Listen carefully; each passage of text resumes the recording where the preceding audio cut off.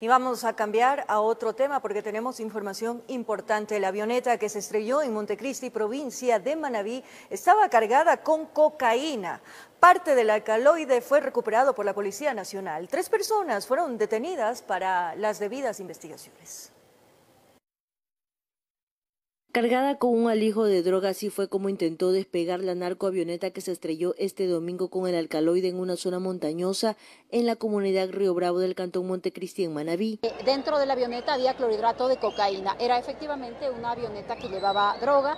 En este momento eh, tenemos ya las investigaciones abiertas. Tras el accidente aéreo, parte del fuselaje de la aeronave se quemó durante el siniestro que mantiene zozobra a la comunidad rural del Cantón Montecristi. Nosotros los asustamos, sí, sí, es golpe que reventaba. Escuchamos todo, fue la detonación como más o menos unas cuatro veces y ahí este, eh, vimos el incendio. Y... Durante el trabajo policial desplegado este lunes en la zona del accidente, personal antinarcóticos y fiscalía levantaron varios indicios como canecas y un sistema de abastecimiento de combustible, además de los restos de la avioneta. La aeronave que está estrellada, que está eh, en un 80-90% incinerada y estamos por realizar una inspección más minuciosa. También se recuperaron de la aeronave quemada bloques de droga que estaban camuflados entre las partes de la avioneta. El peso bruto que se ha logrado recuperar es de 35.200 gramos, de tal manera que estamos hablando de eh,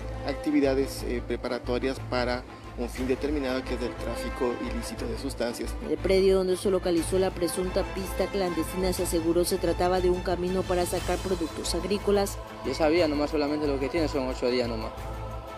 De, sabía tiene 7 metros de ancho. 800, eh, 800 metros de largo. Tras el accidente y el hallazgo de la cocaína, tres personas están siendo procesadas, entre ellas dos extranjeros ocupantes de la avioneta siniestrada que permanecen hospitalizados debido a las heridas que sufrieron durante la caída de la avioneta. Existe una persona adicional que estamos investigando sobre la persona que estaba eh, a cargo, a la confianza de la custodia de esta propiedad. Con cámaras de Eduardo García desde la provincia de Manabí, informó Wendy Delgado,